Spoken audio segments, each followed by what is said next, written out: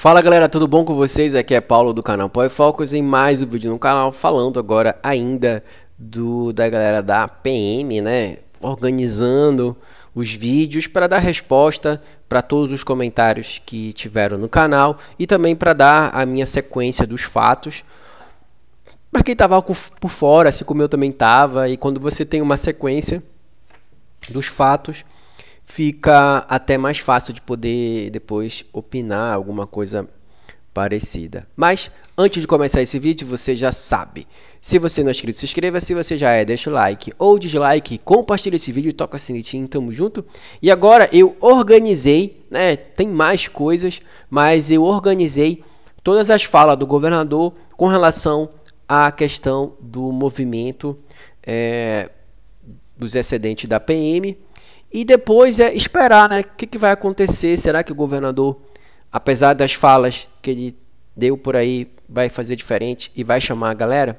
Isso eu não sei. Mas bora ver aqui as falas do governador para deixar isso também no canal e assim também vir mais críticas por aí. Primeira fala do governador. Os concursos realizados para o ingresso de novos colaboradores são 3.134 novos policiais militares. 3.134 da PM. 1.508 novos servidores da Polícia Civil, da entre Civil. delegados, escrivãs, investigadores e papiloscopistas. 1.945 novos policiais penais. Da CIAP, tá vendo, galera? Então, ele deu aqui, né? Deixa eu mostrar aqui para vocês o governador ele está fazendo a propaganda dele, olha só. É, 3.134 da PM, 1.508 da Civil, 1.945 da CIAP. Nessa brincadeira, ele já formou 6.587 novos policiais. Quer dizer, tá, chegou bem perto Chegou bem perto do que ele disse lá, que ele ia formar 7 mil homens da força de segurança, né? Essa, essa, eu acho que ele vai usar isso na campanha dele para esse ano, para a reeleição. Com certeza. Olha, nota aí esse número aí, olha, 6.587 homens, quase. Quase ele conseguiu fazer essa, bater essa meta aí de 7 mil. Bora ver aqui outro, outro vídeo dele. Bora ver outro vídeo dele aqui. Isso que é gostar do governador. O governador chama 7 mil aprovados. Vamos lá, vamos estudar para passar no concurso. Aqui foi uma frase que ele fala, né? Chama os 7 mil, ele falou. Vamos estudar para passar no concurso. Se a gente for somar esse primeiro vídeo que ele deu lá, ó, já tem 6.587, né? Então ele já tá com a continha dele bem, bem tranquila. Bora ver outro vídeo dele que eu já postei aqui no canal.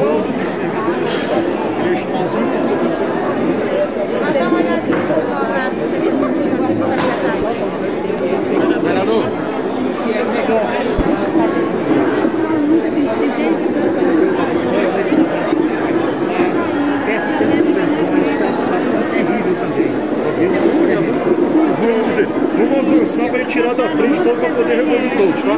Governador. Tá bom. Com o maior prazer, tá bom? Cadê? Governador. O que eu puder fazer por vocês, fiquem certos que eu vou fazer. Agora eu tenho meus limites, tá? Eu tenho, meus, eu tenho os meus limites de edital, tá certo? É isso. Obrigado. Estamos com o senhor também, viu? Tá?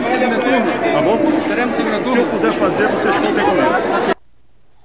É, aqui já é aquela situação, né? Se ele ia chamar ou não, enfim, é outro vídeo. Aí ele fez o vídeo da propaganda que ele vai fazer para ser reeleito. Queria primeiro festejar os números da redução da criminalidade no nosso estado. Quando a gente compara 2018 com 2021, nós reduzimos em 43% o número de crimes por todo o Pará. Isto é uma demonstração da estratégia acertada e, claro, do esforço coletivo em favor da paz por todo o Pará. Mas também reconhecemos que temos que fazer muito mais e investir em profissionais, ampliar o efetivo é decisivo neste contexto. Por essa razão, nós estaremos já agora, no dia 17 de janeiro, iniciando as aulas daqueles que passaram no concurso. E aí é importante destacar que nós tivemos 2.405 vagas disponibilizadas em edital e todas estas preenchidas. Mas além disto, nós estamos autorizando a totalidade da contratação de todo o cadastro de reserva, que se somam mais 729 profissionais. Isto fará com que nós teremos um incremento de 3.134 novos profissionais na Polícia Militar do Estado para se somar com mais presença de polícia nas ruas, junto com as viaturas, com toda a infraestrutura para dar paz e enfrentar a criminalidade por todo o Pará. Um abraço a todos, parabéns aos aprovados, parabéns àqueles que estão sendo chamados também no cadastro de reserva, o investimento do governo do estado em favor da segurança por todo o Pará. Um grande abraço a todos e um bora trabalhar. Bom, vocês viram aí, né, ele falando e tal. Então, todos os vídeos do governador, o primeiro que ele falou, depois a questão é, do segundo vídeo que ele fala, bora estudar para passar no concurso. O outro ele vai ter segunda turma ou não, que ele nem respondeu direito. Depois ele falando sobre a convocação de mais 700 e poucos é, é, candidatos do cadastro de reserva. Enfim, enfim, enfim. E no final, né, para finalizar todos esses vídeos, ele fez aqui um tweet. Olha aqui, ó sobre a questão da manifestação. A CEPLA de forma que os manifestantes em questão, lamentavelmente, não passaram no concurso. Tá? Paulo, tu tá falando em desinformação. Cara, de quem é esse tweet aqui, rapaz? Eu sei que ele não fez isso, é a equipe dele, mas é o nome do barbalho que tá aí. A CEPLAD reitera que todos os candidatos aprovados no concurso público da Polícia Militar foram chamados e seguem cumprindo o que está previsto no edital. Ou seja, o que eu quero dizer? Eu quero dizer que ele entende que não passou, o governador. O edital diz que a, galera que fez 50% e não zerou português está apto. Ele pode chamar? Pode. É só, só estou dando o esclarecimento. Ah, Paulo, para de fazer vídeo. Gente, eu sou o canal do YouTube, eu tenho que falar do concurso, das coisas que acontecem. Aí vocês querem me tolir de falar e o artigo 5 inciso 9, como é que fica nessa brincadeira? Esse bem aqui que vos fala, todos são iguais para a lei, blá, blá, blá, blá. Inciso 9, é livre a expressão da atividade intelectual, artística, científica e de comunicação, independentemente de censura ou licença. Ou seja, não, não cometam arbitrariedades com o canal. O canal está só fazendo o papel que lhe cabe, que é trazer informação. Se é conforme o que vocês querem ouvir, é só vocês não, assist não assistirem os meus vídeos.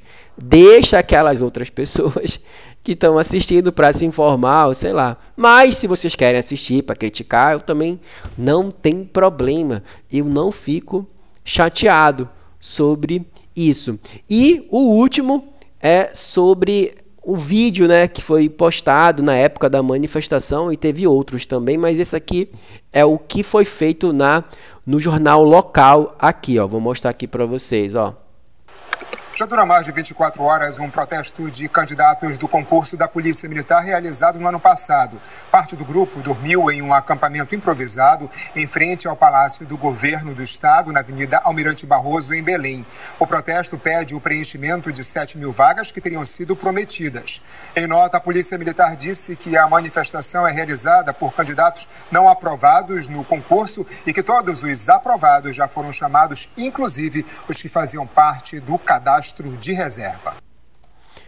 Esse aqui, né, foi o vídeo. Aí tem outros vídeos, mas esse é mais curtinho. Eu não quero colocar para não deixar muito grande o, o vídeo.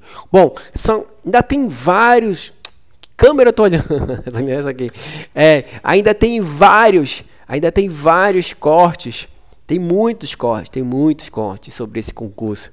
Mas, de fato, para resumir tudo, galera, é o seguinte: Agora eu vou dar a minha impressão. A minha impressão é: tudo pode mudar, né? Vai depender do ânimo do governador. De repente, ele acorda numa manhã dessa, pega o papel assim e fala: chama esses excedentes aí. Puff. Por hora, o que nós temos é isso. Por hora, o que nós temos é que tá tudo certo, já chamou todo mundo e que não vai chamar mais ninguém. E que pode fazer protesto, pode fazer o que seja, que não vai mudar nada. É essa a impressão que eu tenho, tá? Posso estar equivocado, eu espero que eu esteja, mas a impressão diante de todos diante de todas essas informações que eu acabei de postar aqui no canal, não sou eu que estou falando, tá? Antes que alguém fale, tá trazendo desinformação. Fez um compilado de todas as falas do governador, tweet dele, reportagem de local, enfim, todo tipo de situação. A verdade é, a galera deve estar tá ainda lá, né? Bora dar uma olhadinha. Bora dar uma olhadinha. Tá aqui, achei no Instagram da galera, olha só. Tem muitos Instagrams aqui, ó. Tem esse aqui, aprovados PM, ó. Estão lá ainda, estão acampados lá ainda, galera. Tem esse aqui da segunda turma, que não fala do acampamento, né? Aí chama 7 mil, esse aqui também não fala. E fala aqui do, do dia que ele fez uma campanha aqui, o Helder, ó. Helder confirma o concurso da PM, 7 mil vagas. Anúncio ocorreu ontem em solenidade. Quando foi isso? 24, 23 de 4 de 2019 que marcou a entrega da medalha Tiradentes, Civil e Militar. O concurso deve começar um semestre oficiais, né? Que ele disse que ia chamar, né? Mas não fez todo de vaga. Aqui é os aprovados para 2021, mas ele não tem nada sobre a convocação. Aí esse aqui fala, né? há 23 dias acampados, esperando a boa vontade do governador do Barbade nos receber. Bora trabalhar. Entendeu? Aí a galera fala. Desaprovado para fazer as próximas etapas, evite gasto do Estado com novo concurso e tal, enfim, aí, enfim, galera, tá aí, né? Aqui é o Instagram da galera, então se você quiser, eles estão aqui, ó, acampados. Esse aqui fala. Não recuaremos nove dias da contagem regressiva, ó, tá vendo? Esse realmente eles estão falando sobre o concurso. Esse é o aprovados da PM, tá certo?